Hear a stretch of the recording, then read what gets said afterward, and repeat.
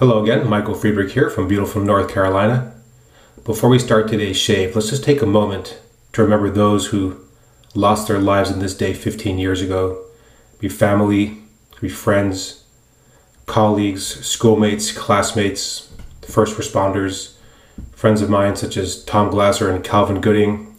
Just take a moment today to remember those. All right, well, let's go and get started with today's shave. Today I have two new products and the return of a uh, of, an, of an older razor.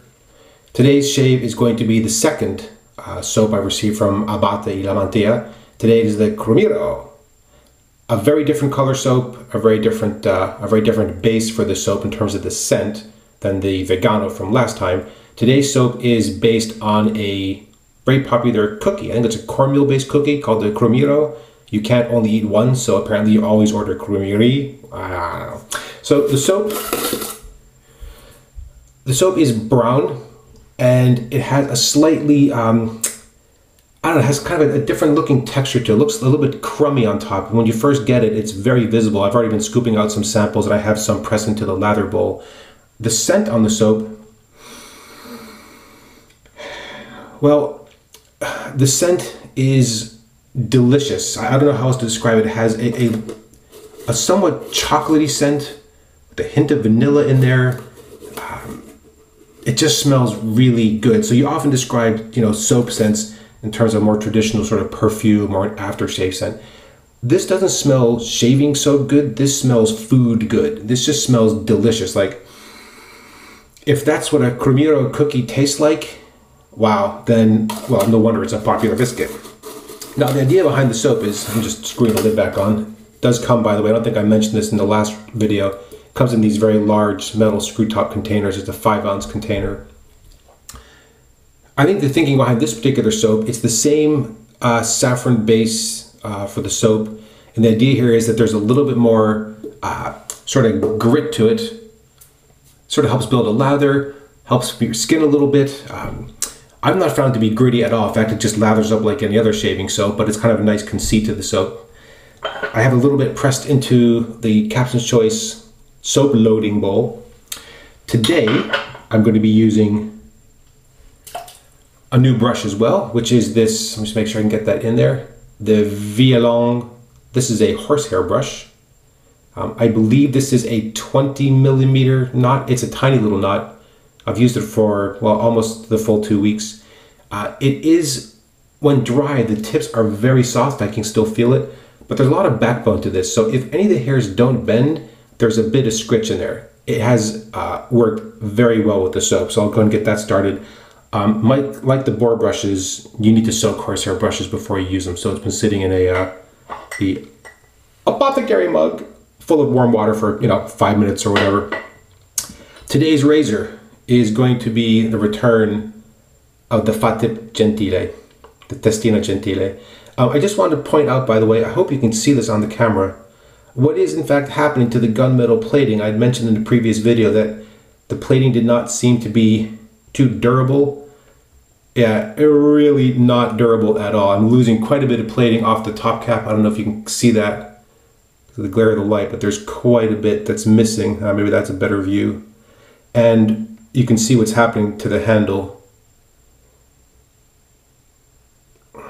So, not great. In fact, really disappointing in some ways because I really, really like this razor. Um, losing the plating is, is a pain. It's not the end of the world, obviously, because the razor still shaves fantastic, but I wonder if the chrome version might not have been a better choice in the long run. All right, let me just wet my face again, and we'll go and start lathering.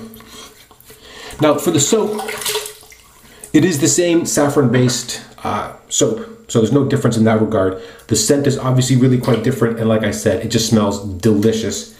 Lathering with this brush has been no problem. Now, I will note that when it starts, even with the relatively dry brush, um, it may be this brushing part, a very foamy lather begins. Um, but that comes together on the face easily with no issues. So you can see what's happening. It looks very bubbly around the sides. Nah, don't worry. Gonna give it a good load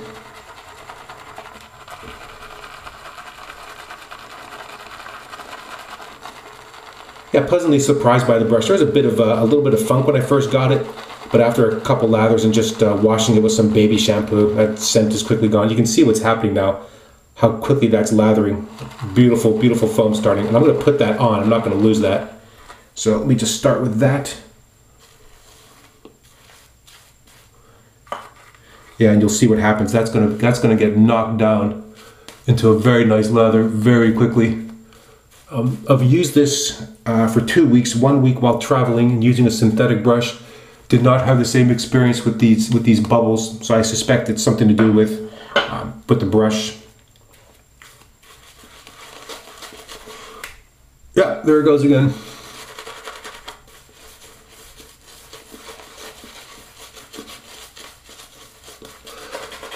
Yeah, pleasantly surprised by the brush. The first few shaves were a little squishy, and I thought, oh, maybe this won't work out. But it has been breaking in very nicely. When you push down, you can feel the backbone and a little bit of scritch, but nothing bad. All right, time to add some water to that. Yeah, it's a small brush, but you can see what's happening in terms of the lather. I'm just gonna scoop that off.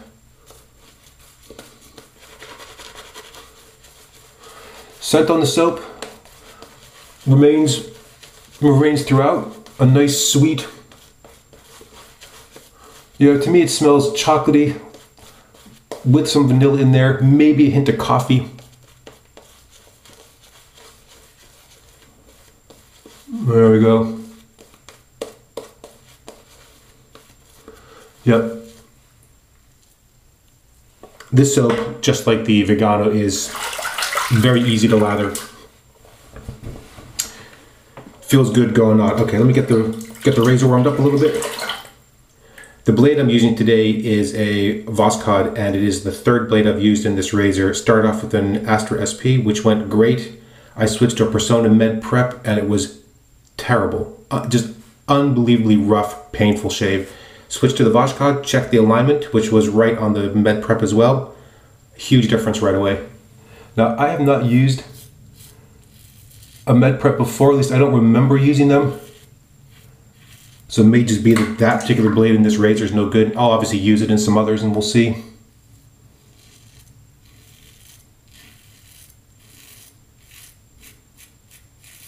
Yeah, the difference in the shave was night and day.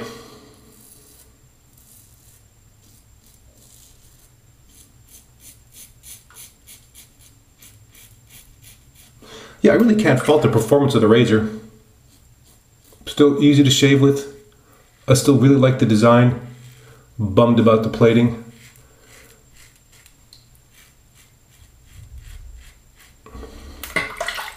Yeah, there's got to be a way to get plating onto this that's not going to come off that easily.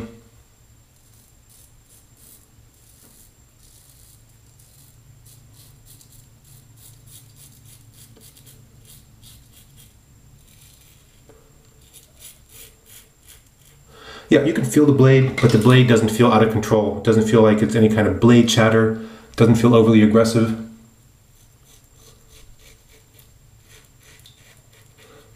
No pressure, nice and light. And very good, very good audible feedback there. Really hear what you're doing.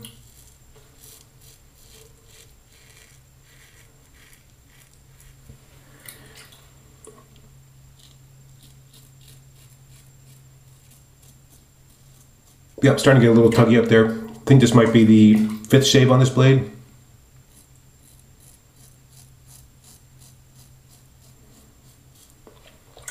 Astra lasted full week.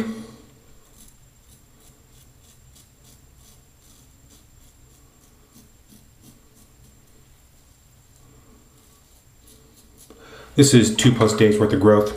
So you can see, I mean, it really, it knocks it down quickly and the soap does a great job there. It's really slick easy to apply. Lather stays in, you know, stays intact, holds up. No drying out. Rinse is clean, but you still have a good layer of slickness there. All right. You can see there's drippage on the brush, which means there's drippage on the arm. Don't like that. yeah, second pass, very nice creamy feel to this. Um, there have been a couple times where I've had to go back and just reload the brush a little bit from the bowl. We'll see if that's necessary this time for a third pass. Definitely a small knob, but you can see how much lather is still in there. Oh, yeah, good.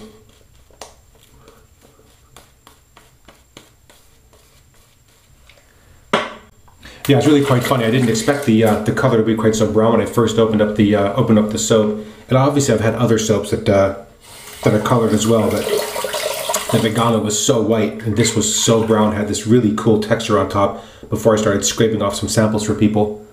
All right, this is the across the grain pass.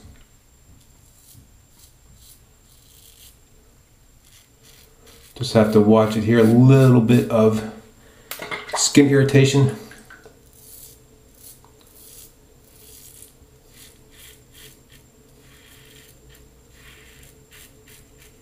Yeah, I think this blade is on its last legs here a little bit.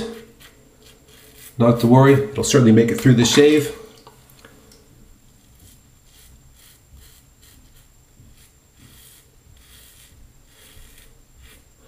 Yeah, good. Good slickness on this soap, easy, no friction, no difficulties.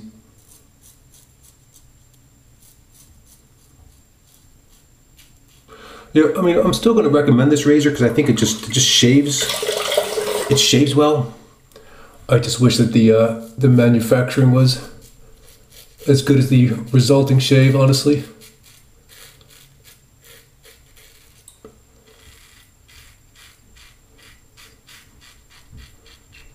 It's really a shame to have something like plating loss, you know, cut into your potential sales. But you know what? There's a way to fix that. Better plating.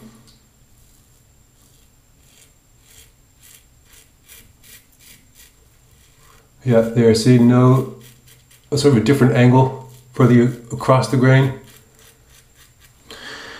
No tugging, no friction. Easy, easy shave.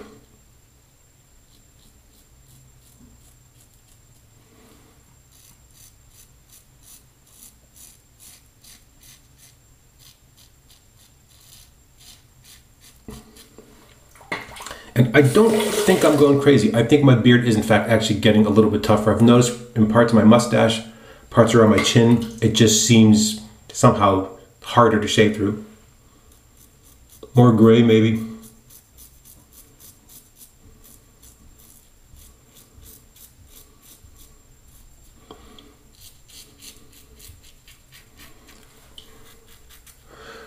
Yeah, I have to say, really like this soap. And for the uh, for the entire two weeks, I have not used an aftershave balm and I've not had any real issues with my skin there. Okay, let me go and get my face wet, rinse off again for the uh, against the grain pass.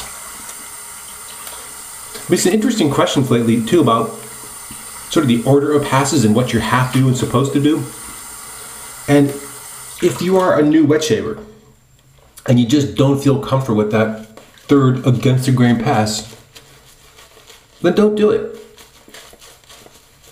With the grain, no issue. And across the grain pass, and then do a second across the grain pass just in the opposite direction. And you may be surprised at just how good a shave you get. All right, I'm gonna pull some of the lather out of the brush. I'm gonna pull some of the lather out of the bowl because there's still some in there.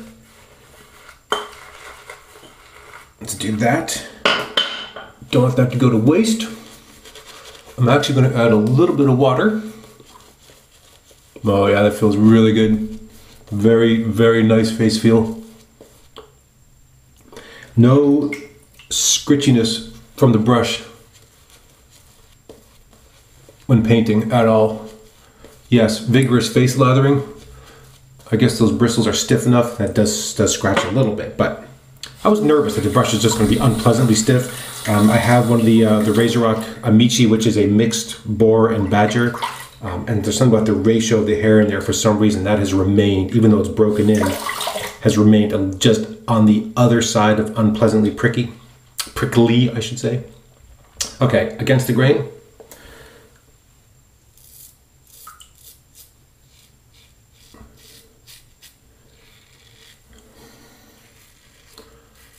Yeah, nice, good glide still.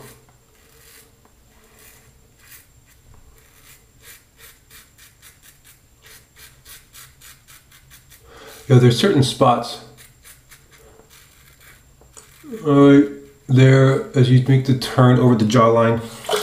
When the blade starts to go, now you know that that's uh, that's a spot right there, a little tiny bit dull, but still getting a pretty good shape out of it. There we go. These are no pressure, just gliding it over.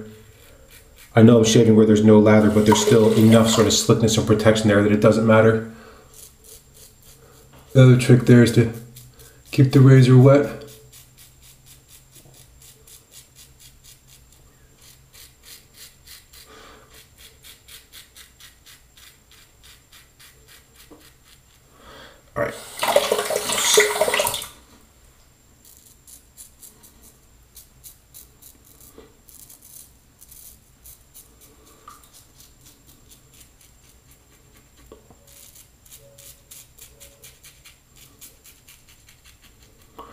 Oh yeah, a blade.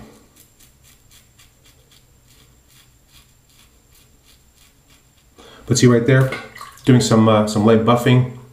That soap may look thin, that lather may look thin, still very nice and slick.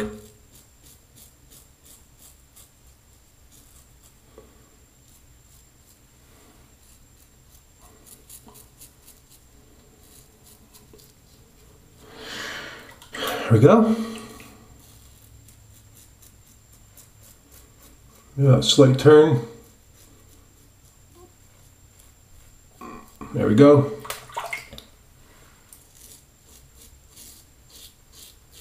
Just wet that a little bit. Yeah, still. Yeah, that's good slickness right there. Nice.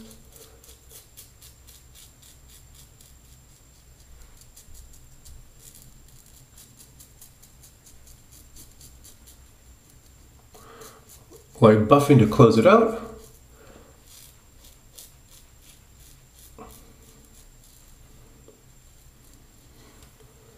Yeah, nice. Hmm. Med, comfortable, easy shave. Okay.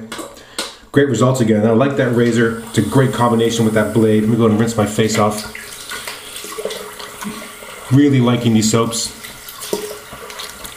I like the fact that there's a good range of differences in the uh, in the sense and sort of the uh, like the color and the packaging. Um, I still have two more to go. Interested to see what they look like. I haven't even opened them up yet. Yeah, rinse is clean. Well, where you can get your fingers in there, obviously. Ah, too much soap in my ear.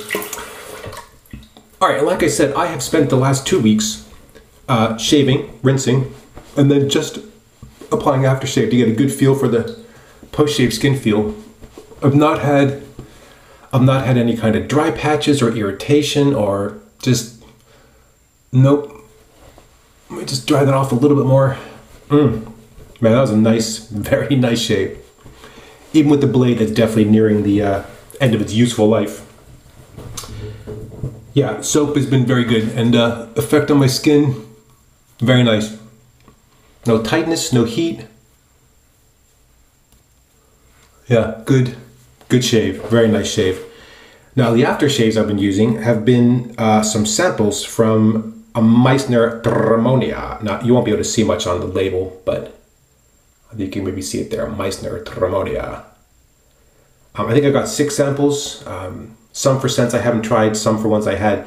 So I've had uh, Himalayan Heights as an aftershave scent did not work for me at all. The aftershave itself is really quite nice. Um, I believe it has its alcohol, glycerin. Um, it has witch hazel included. This is a um, this is the mint ice menthol. So it has uh, menthol in there, eucalyptus, uh, and some mint, obviously. I've already worked through one which is the dark limes, and the dark limes smells like one of those small, very dark green limes if you've zested the uh, zested the um, the skin and also squeeze out some of the lime juice, you have a kind of a really nice mix of a really heavy, not a sweet lime scent at all, but a very, very nice scent. As an aftershave, worked very well. The Mint Ice Menthol um, is more mentholated than I would normally use, but I have to say it's been 95 or 100 degrees here the last couple days. Um, the week it's been very hot, and so I've been quite enjoying this blast of menthol. And it's mentholated enough that, in fact, tears your eyes up a little bit. A nice mint feel to it. It's got a little bit of a slick face feel, which I think is the glycerin. Combination with the alcohol and the witch hazel makes for a very nice sort of post-shave skin skin healing or skin feel. Warm the hands up a little bit. Oh, see, that makes my eyes water. Just it's just strong enough. Not a big menthol head, but I have to say, in the heat lately, this feels very good going on. Dries down pretty quickly, but still leaves a nice, um, for the at least for the first few minutes, a nice slick, a nice slick feel to it. Now, there's one thing to point out about these samples, by the way, which is that it comes in this really nice glass bottle, but it also comes without a regulator. So one, you have to be kind of careful when you're glugging it out into your hand. And I have had one instance where when I put it down, my hands were a little slippery and it tipped. I did manage to catch it in time, so some in fact did spill. So just something to bear in mind if you are getting the samples from Meissner Tremonia, um, just be aware, no regulator in the uh, in the top of the glass bottle. Well, another smooth, easy shave Still sweating from after my shower, but that's okay. Man, that was good, nice and smooth, comfortable, no irritation, no nicks, no cuts. Let's cover everything we've used for today. Let's do the old first. Yeah, the Fatip Testina Gentile. Um, it weighs less, so much plating has fallen off. Uh, yeah, plating is, is, is going, which um, I am kind of bummed about. On the other hand, it still shaves very well. I'm to go back and try another of the Personna um, Med Prep in there. Um, but this razor will fall out of the rotation for a short bit. I've got two new razors coming in, so I probably won't get back to this for quite a while. But still, in terms of shaving, I can still 100% recommend this razor. If you're nervous about the aesthetic qualities of the razor, this may not be the razor for you. Maybe the chrome stays on better, but in terms of the gunmetal finish, um, no, not, not, not doing well at all. The brush for today was this Vie-Long horsehair 20 millimeter, beautiful brown natural color to the horsehair, works fantastically, has been breaking in, I think, very naturally and easily. A little bit of funk to start off with, which was very quickly taken care of. Um, I do love the handle shape. I do love the wood handles. Just a very natural, easy, easy brush shape for me to hold. Kind of a fan of those retro style handles anyway. Uh, today's soap, the Crumiro from Abbate y La Mantia. This is the second in the in the series of four of these saffron-based uh, soaps made by Chong Fong Sing for Abbate y La Mantia. Another fantastic shave. Really, really liking these soaps. The scent on this is delicious, smells fantastic. If you're someplace where you can buy these cookies and you can let us know how good they taste, that'd be fantastic. Recommended. And I do love the fact that on the label, this uh, this gentleman's mustache is clearly made up of these uh, Crumiri cookies very nice. And for the aftershave, uh, I'm going to put the lid back on before I hold it up again so it doesn't go glugging out. Uh, samples of the Meissner Tremonia. This is the mint ice menthol. Dark limes, also very, very nice scent. Um, this doesn't have much scent, but obviously as an aftershave itself is working very well. As I said, Himalayan Heights as a scent did not work for me at all as an aftershave scent, but the aftershave itself was fine. Um, I still have three more to go. I think two of which are based on a dark beer and a Weiss beer, I believe. I think those are still coming up. And then I have Exotic Elemi, which is kind of a, a very woodsy incense-like scent. So I'm looking forward to those uh, in the next uh, next couple weeks, likely. Well, I think we've covered all the products. Let me say again, thank you so much for watching. If you have comments or questions, please feel free to leave those against the video. I do my best to try to get back to them as quickly as I can. Thank you again so much for watching, and until next time, goodbye.